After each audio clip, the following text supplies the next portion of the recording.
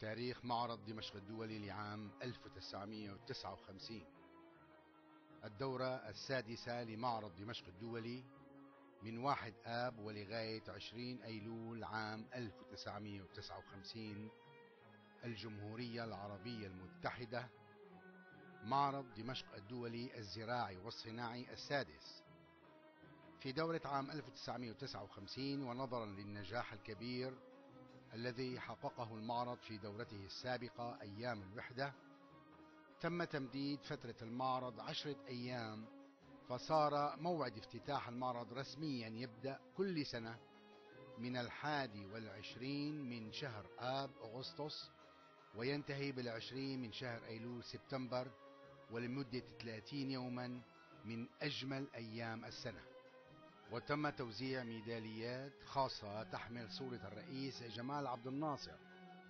حين كان رئيسا للجمهورية العربية المتحدة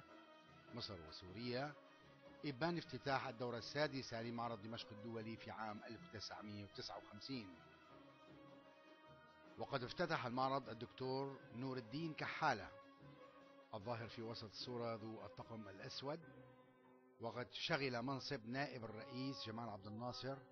في دولة الوحدة بين مصر وسوريا بالإقليم الشمالي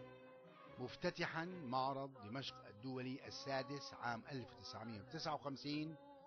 ويقف بجانبه الدكتور مأمون الكزبري أثناء عزف النشيد الوطني لدولة الجمهورية العربية المتحدة وعددا من المراقبين والمرافقين بحكومة الوحدة. وقد افتتح هذا المهرجان الأستاذ فيصل الدالاتي مدير عام معرض دمشق الدولي بكلمة ترحيب بالضيوف من أعضاء الحكومة ورجال السلك الدبلوماسي. وقد ألقى الدكتور خليل كلاس وزير الاقتصاد والتجارة بدولة الوحدة كلمة أشاد بها بهذا المهرجان. وعلى وحدة العرب الاقتصادية التي تحققت هذا العام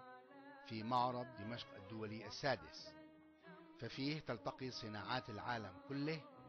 وهي فرصة فريدة من نوعها. لرجال الصناعة والتجارة والمستوردين والمصدرين والمستهلكين للالتقاء هنا على أرض المعرض وتبادل ما لديهم من إمكانات تزيد من ربحهم وإنتاجياتهم في ظل الوحدة الاندماجية بين القطرين, الشقيقين القطر الشمالي أو الإقليم الشمالي سوريا والإقليم الجنوبي مصر. ثم ألقى الدكتور نور الدين كحالة بوصفه نائبا لرئيس الجمهورية العربية المتحدة بالإقليم الشمالي كلمة أشاد بهذا المهرجان العظيم ومشاركة الدول العربية والأجنبية الصديقة والمساعي الطيبة للتمثيل اللائق في مهرجان دمشق الاقتصادي مدللة بذلك على ما تكنه من الإعجاب والتقدير لنهضة دولة الوحدة على توسيع مدى التبادل والتعاون المتعادل المتكافئ بين أسواقها وأسواق الأمة العربية والأجنبية. وكان ذلك على خشبة مسرح مدينة معرض دمشق الدولي ونشاهد جانب من الحضور والوفود الأجنبية ورجال السلك الدبلوماسي ورجال الوحدة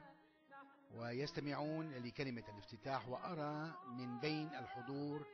مفتي الجمهورية الدكتور المرحوم أبو اليسر عابدين.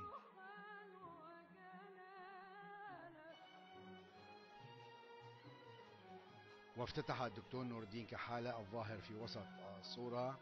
حين شغل منصب نائب رئيس الجمهورية العربية المتحدة بالإقليم الشمالي معرض دمشق الدولي السادس في عام 1959 يرافقه السيد خليل كلاس